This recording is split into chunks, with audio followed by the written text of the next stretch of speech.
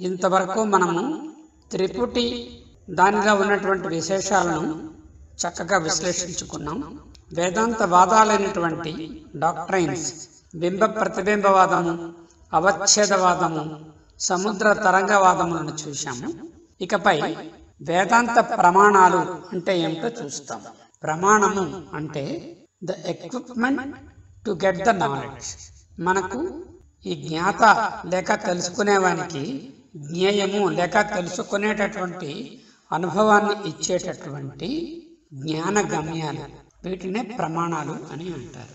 Or the equipment to get the జ్ఞాన and the knowledge so here we have got eight different ప్రమాణాస్ in our shastras in వేదాంత శాస్త్ర ప్రత్యక్ష ప్రమాణము అనుమాన ప్రమాణము శాబ్దము ఉపమాన ప్రమాణము అర్థాపత్తి అనుపలబ్ధి సంభవము ఐతిహ్యం.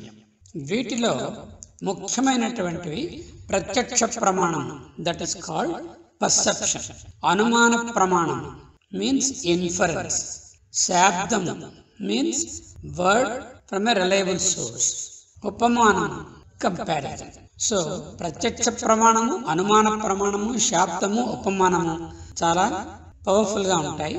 అవి ఎక్కువ ఉపయోగపడతాయి. జ్ఞానము నాలెడ్జ్ని పొందడానికి. ఇప్పుడు ఈ అర్థాపత్తి అనుపలబ్ధి అనే అనేవి కూడా వేదాంత ప్రమాణాలే. సంభవము ఐతిహ్యము అనేటటువంటివి వేదాంతంలో అంతగా ఉపయోగించారు. వచ్చే స్లైడ్స్లో ఈ ప్రమాణాలు అంటే ఏమిటి? వాటి తాలూకా విశ్లేషణ ఏమిటి? తెలుసుకుందాం. క్రిందటి స్లైడ్లో చూసినట్లే ఇక్కడ కూడా ఎనిమిది ప్రమాణాలు కనిపిస్తున్నాయి. పౌరాణికులకు ఈ ఎనిమిదిని ఉపయోగంగా ఉంటాయి. All the eight are used by the పౌరాణికాస్ whereas the first six only ప్రత్యక్ష అనుమాన శాబ్దము ఉపమానము అర్థాపత్తి అనుపలబ్ధి. These are used by the Vedantins వేదాంతులకు ఆరు ప్రమాణాలే వాడతారు. సంభవము ఐతిహ్యము ఉపయోగించారు. అయితే తార్కికులు అర్ధపత్య అనుపలబ్ధి కూడా ఉపయోగించరు. వారు ప్రత్యక్షము అనుమానము శాబ్దము ఉపమానాలు ఈ నాలుగింటినే ఉపయోగిస్తారు. ఈ అంశాలు ఒక్కొక్కటి ఏమిటో కొంచెం ఉదాహరణగా మనము వచ్చే స్లైడ్స్లో చూద్దాం. ఇక్కడ చూద్దాం. బోధ అంటే విజ్ఞానము నాలెడ్జ్ విజ్డమ్ ఈ బోధ ప్రమాత అంటే ఎవరైతే బోధని తెలుసుకుంటున్నారో వారు ప్రమాత. వారు ఏ ప్రమాణము చేత తెలుసుకుంటున్నారో దానిని ప్రమాణము అంటారు. అంటే the method or reasoning of understanding. ప్రమేయము అంటే తెలుసుకొనబడినది. ప్రమాత ప్రమాణముచే ప్రమేయాన్ని తెలుసుకుంటాడు. ఈ తెలుసుకోవడాన్ని ఎరుకని ప్రమా ఎరుక జ్ఞానము అంటారు. ప్రమాత ముందు చూసినటువంటి జ్ఞాత ప్రమాణము జ్ఞాన గమ్యము ప్రమేయము జ్ఞేయము ప్రమ జ్ఞానము. ఓకే? నోయర్ ప్రమాత.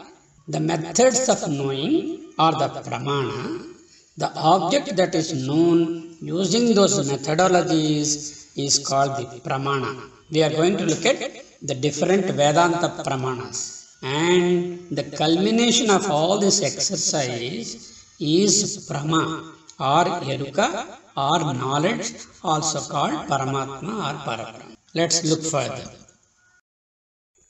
వేదాంత ప్రమాణాలు రిలయబుల్ మీన్స్ ఆఫ్ నాలెడ్జ్ చక్కగా ఒక విషయాన్ని అర్థం చేసుకోవడానికి కావలసినటువంటి సాధనలు పనిముట్లు రైట్ నాలెడ్జ్ ఆఫ్ ద సచ్చిత్ ఆనంద always produces the desired result call the liberation సచ్చిత్ ఆనందం పొందాలి అంటే సరి అయినటువంటి అవగాహన సరి అయినటువంటి జ్ఞానం సరి అయిన విజ్ఞానం ఏర్పడాలి.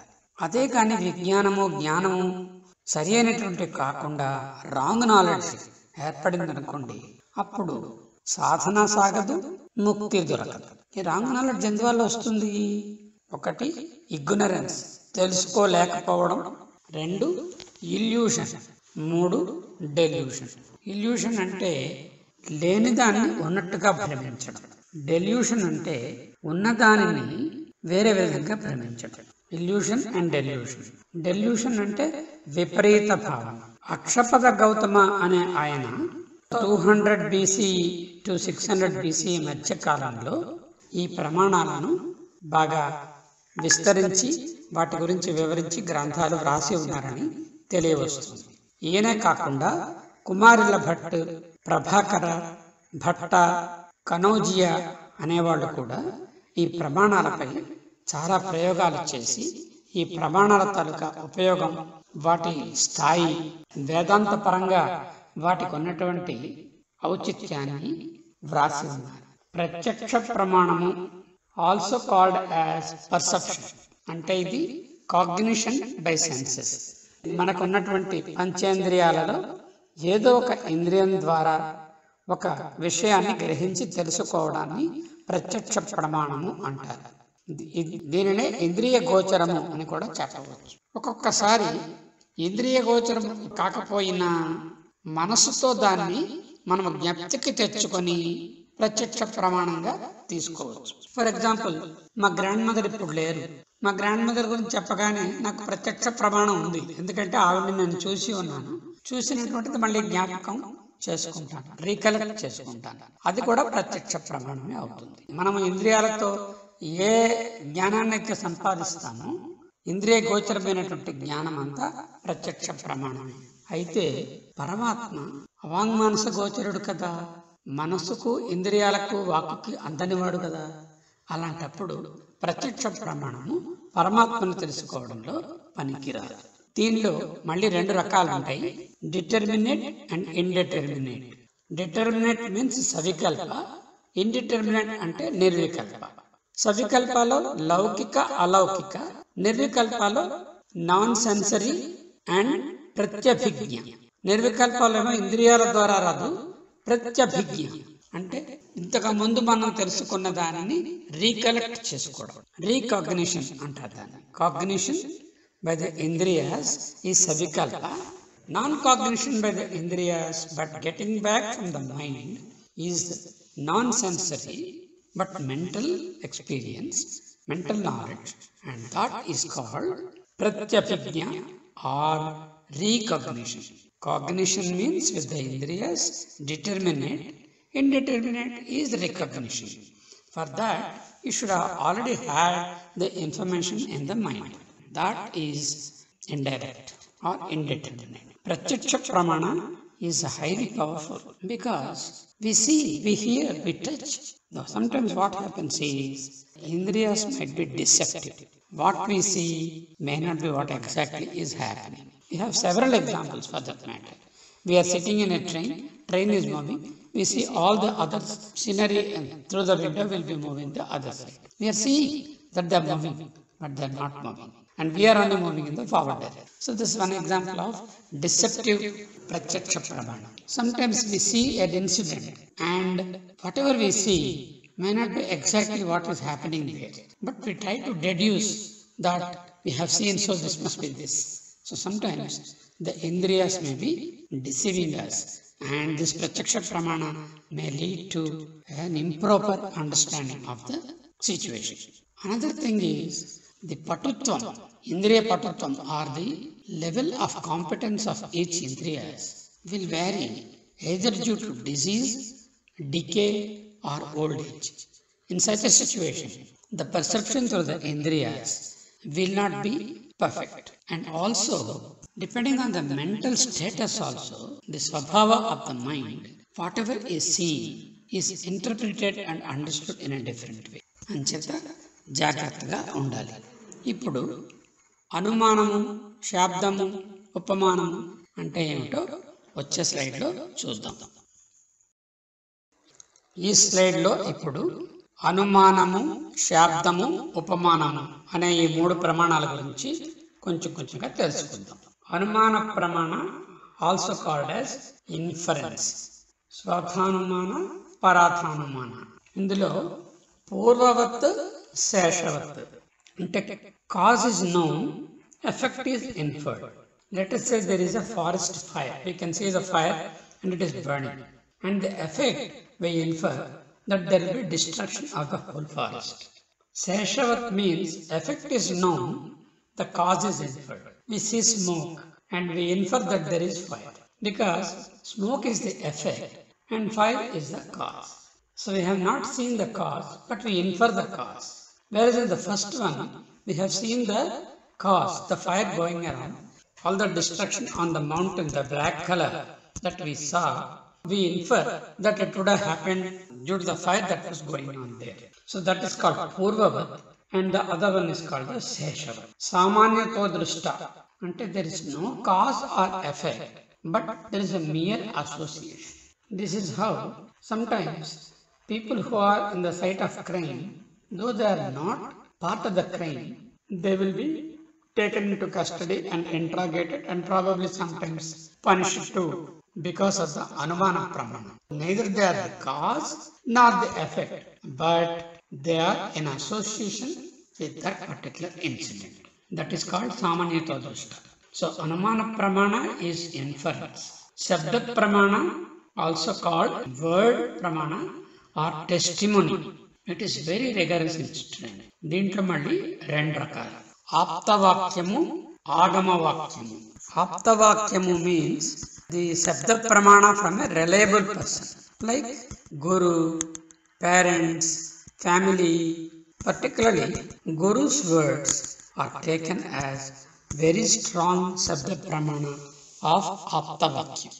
Whereas agama means these are the ones which are related to the scriptural dictums or proclamations in the scriptures. We have seen several scriptures no whatever that, that has been proclaimed taught made us to understand that is called the veda vakyam or vaidika vakyam or agama vakyam. It is a sabda pramana. Okay. Now we have got the upamana pramana also called as by analogy or by comparison the subject that is being compared is called the upameya the object with which it is being compared is called the upamanam. ఉపమానము ఉపమేయం భగవంతుడు కరుణా సముద్రుడు God's mercy is infinite అని ఉన్నదనుకోండి దాంట్లో ఉపమానం ఏమిటి? భగవంతుడు. భగవంతుడిని మనం చూడలేదు. కానీ భగవంతుని కరుణని కూడా చూడలేదు. కానీ సముద్రంతో పోలుస్తున్నాం. అంటే ఏమిటి? సముద్రం ఎంత విస్తీర్ణమైనదో ఎంత గంభీరమైనదో అంతటి కరుణ కలిగిన వాడు భగవంతుడు అని చెప్పడానికి భగవంతుడు కరుణాసముద్రుడు అంటాం. కాబట్టి ఉపమాన ప్రమాణము అని అంటారు. Analogy by comparison or by analogy for example Vishnu Sahasranamam చదువుకుంటాం. లలిత సహస్రాన్ని చదువుకుంటాం. లలిత అమ్మ ఒరిజినల్గా ఎలా ఉంటుందో? ఏమిటో వ్యక్త రూపం ఏమిటో మనకు తెలియదు. అలాగే విష్ణు వ్యక్త రూపం ఏమిటో మనకు తెలియదు. అది అవ్యక్తం. ఏదో ఫోటోల్లో ఈ విధంగా ఉంటాడు అని ఈ నామాలన్నీ చదివిన మీదట చిత్రకారుడు చిత్రించిన చిత్రాలు లేకపోతే కోవెళ్ళలో ఉన్నటువంటి శిల్పాలను చూసి ఇలా ఉంటాడని ఊహించడం తప్ప నిజంగా విష్ణువుని కానీ లలితమ్మని కానీ మనం ఎలా తెలుసుకుంటాము? తెలుసుకోలేనప్పుడు తెలుసుకోలేని విషయాన్ని తెలియచెప్పడానికి ఎన్నో రకాలైనటువంటి ఉపమానాలను ఇచ్చి చెప్పడం. సహస్ర విధములైన పేర్లతో ఉపమానాలతో విష్ణువుని వర్ణించి చెప్పడం అమ్మని వర్ణించి చెప్పడం. తెలిసిన దాని గురించి ఒక్క మాటలో చెప్తే అదేమో తెలిసిపోదు. తెలియని దాని గురించి ఎన్నో రకాలుగా డిస్క్రైబ్ చేస్తే డిఫరెంట్ యాంగిల్స్ నుంచి అప్పుడు కొంతలో కొంత తెలియడానికి ఊహించడానికి అవకాశం ఉంటుంది. దీనినే ఉపమాన ప్రమాణము అని అంటారు. మనము ప్రత్యక్ష ప్రమాణము అనుమాన ప్రమాణము శాబ్దము ఉపమానము చూశాము. ఇప్పుడు అర్ధాపత్తి అనుపలబ్ధి అంటే ఏమిటో ఈ స్లైడ్లో చూద్దాం. అర్ధాపత్తి అర్ధాపత్తి ప్రమాణం ఆల్సో కాల్డ్ ఎస్ సర్కమస్టెన్షియల్ అని అంటారు. Knower of the self transcends grief అని ఉందనుకోండి. Knower of the non is always in grief కదా ఆత్మానుభవము కలిగిన నిశ్చల ఆనంద ప్రాప్తియే ఆత్మానుభవం కలగకపోతే దుఃఖాన్ని అనుభవిస్తున్నాం మనకు తెలుసు అంచేత ఆత్మానుభవం కలిగితే నిశ్చల ఆనందం కలుగుతుంది అనేటటువంటిది ఒక సర్కమస్టెన్షియల్ ఎవిడెన్స్ ఈ సెంటెన్స్ చూడండి the fat Devadatta does not eat at all during the day ఆ స్థూలకాయుడు దేవదత్తుడు పగలు లేశమాత్రము భుజింపడు. అంటే ఏమిటి? రాత్రి భుజిస్తాడు. ఎలా తెలిసింది? స్థూలకాయుడు కాబట్టి ఎక్కువగా ఆహారాన్ని అమితంగా తీసుకుంటూ ఉండవచ్చు. పగలు కొంచెం కూడా భుజించడంటే మరి రాత్రి భుజిస్తాడు అనేటటువంటిది సర్కమస్టెన్షియల్ ఎవిడెన్స్ అంటారు. ఇది మనం జూరిస్ప్రూడెన్స్ కూడా సరైనటువంటి ఆధారం లేకపోతే సాక్షి లేకపోతే డైరెక్ట్ ఎవిడెన్స్ కానీ అనుమాన ప్రమాణాలు లేకపోతే సర్కమ్స్టెన్షియల్ ఎవిడెన్స్ యూజ్ చేస్తారు. ఒక ఆయన ఒక ఆయన మరొక ఆయన్ని హత్య చేశాడు అని ఆరోపించారనుకోండి. ఆయన గాని హత్య జరిగిన నాడు ఆ ఊర్లో లేనే లేడు ఇంకో చోట ఉన్నాడు అని ప్రూవ్ అయింది అనుకోండి అప్పుడు సర్కమ్స్టెన్షియల్ ఎవిడెన్స్ ప్రకారంగా ఆయన కల్పరేట్ కాదు. ఇది చేయలేదు అనేటువంటి విషయం తెలుస్తుంది. దీనిని అర్థాపత్తి అని అంటారు. అనుపలబ్ధి non perception knowledge of negativity అంటే ఏమిటనమాట మన ఇంట్లో మనం ఇంటి తాళాలు ఎక్కడ పారేసుకున్నాం. వచ్చి వెతుకుతున్నాం. ఈ రూమ్ అంతా వెతుకుతాం. ఈ రూమ్లో లేవు. అంటే తాళాలు ఇక్కడ లేవు. అలాగే ఇల్లంతా వెతుకు ఇంట్లో ఎక్కడా కనపడలేదు. అంటే ఏమిటన్నమాట? మనం వస్తువుని చూడలేదు తాళాలు. లేదనే విషయం తెలుసుకున్నాం. కాబట్టి ఇంట్లో పోలేదు. ఎక్కడో వేరే పైన బీచ్లోనో రోడ్డు మీద కార్లోనో ఎక్కడో పడేసాం అనుపలబ్ధి అని అంటారు. సద్రూప అనుపలబ్ధి perception of existence by senses is absent అసద్రూప అనుపలబ్ధి పర్సెప్షన్ ఆఫ్ నాన్ ఎగ్జిస్టెన్స్ లేదని తప్పకుండా తెలుస్తుంది. దాన్ని బట్టి ఇన్ఫరెన్స్ ఉంటుంది. కారణ అనుపలబ్ధి not able to find the cause for example డాక్టర్స్గా diagnose చేయాలంటే ఏ కారణము దొరకకపోతే ఒక జ్వరానికో మరొకనికో నెగిటివ్ డయాగ్నోసిస్ ఉంటే అప్పుడు ఇది కాదు ఇది కాదు ఇది కాదు. దీనిని చాలా వరకు వేదాంతంలో అనుపలబ్ధిని వాడతారు. నా నాయితి నా నా తెలిసినది ఏది కాదు కాబట్టి మనకు తెలియనిది ఇంద్రియాలకి మనస్సుకి గోచరం కానిది పరమాత్మ. అంటే నెగిటివ్గా లేదు లేదు నేతి నేతి కాదు కాదు అని తెలుసుకుని పరమాత్మని తెలియజెప్పడం అనుపలబ్ధి అవుతుంది. వ్యాపకం. Not able to see the distribution of the effect అప్పుడు కూడా ఇక్కడ లేదు ఇక్కడ డిస్ట్రిబ్యూషన్ లేదు కాబట్టి అది ఇక్కడ లేదు అని ఒక కన్క్లూషన్కి వస్తాం అలాగే స్వభావం. Not tangible evidence of the nature of the effect ఆ స్వభావం స్వభావమే అక్కడ గోచరించలేదు. అప్పుడు అది లేదనేది ప్రూవ్ అవుతుంది విరుద్ధ అనుపలబ్ధి non perception of opposite features ఈ విషయానికి విరుద్ధమైనటువంటి అంశాలు ఏవి కనబడకపోతే this is called diagnosis of exclusion ఈ విధంగా అనుపలబ్ధి అనేటటువంటిది దైనందిన జీవితంలోని పారమార్థిక చింతనలోనే కూడా పనికొస్తుంది. ఈ విధమైనటువంటి ప్రమాణాలను ఇప్పుడు తెలుసుకుందాం. ఇక ఈనాటి కార్యక్రమం అధ్యయన కార్యక్రమం ఇంచుమించు ముగించబోతున్నాం. రాబోయే ఇంకొక స్లైడ్ చూసి అధ్యయనాన్ని ముగిద్దాం. చూడండి. అవిద్య నాశం అవడానికి ముందు బ్రహ్మాకార మనోవృత్తి శబ్దానువాస సవికల్ప సమాధి. బ్రహ్మాకార మనోవృత్తితో ఉండి mental modifications in the form of Brahman through మహావాక్యస్. Then mental modifications in the form of Brahman without the help of Mahavakyas and getting into Savikalpa Samadhi. In that state, Jagat and Tripati will still be there for the Sataka. But once the Avidya Nashanam occurs, with the Avidya Nashanam, the Tripati triad of seer, seeing, seeing Jagat of the world is dissolved. Avidya Nashanam is destruction of ignorance. Jivan Mukti is liberation while being alive. Then once the avijnanasham occurs, Brahma Bhavanurupa Nirvikalpa Samadhini practice Chaya. Even the subtlest mental modification is experienced as again Brahma. Then results the fruit Brahmavasthanurupa Nirvikalpa Samadhi. No mental modifications, only Atman remains, no Jagat, no Tripiti. That ends in Jivan Mukti, Sadhana and Samadhi different states. He described in Sivananda Lahari Shlokam. Salokyam, Samipyam, Sarupyam, Sayujyam are the four steps, and these can be compared to what we see here Brahmakara Manavritti, Salokyam, Shabdanuvada, Savikalpa Samadhi, Samipyam, Brahma Bhavana Rupa, Nirvikalpa Samadhi, Sarupyam, Brahmavasthana Rupa, Nirvikalpa Samadhi, Sayujyam. This is how We can perceive the different stages of sadhana and the attainment. सत्त्वित्वानुपसर्प्यताम् प्रतिदिनम् तत्पादुका सेव्यताम् ब्रह्मैकक्षरमध्यताम् श्रुतिशिरो वाक्यम् समाकर्ण्यताम् సద్విద్వాంసులను సద్గురువులను ఆశ్రయించుము. వారి పాదుకలను ప్రతిదినము భక్తితో సేవించుము. బ్రహ్మప్రాప్తికి బ్రహ్మానుభూతికి తోడ్పడే ఏకాక్షర బ్రహ్మ మంత్రమగు ఓంకార మంత్రాన్ని వారి నుంచి అర్థించుము. వేదాలకు శిరస్సులకు ఉపనిషత్తుల వాక్యాలను వేదాంత వాక్యాలను శ్రద్ధగా నిత్యం విను. జగద్గురు ఆదిశంకరాచార్యులు. అందరికీ నమస్కారము.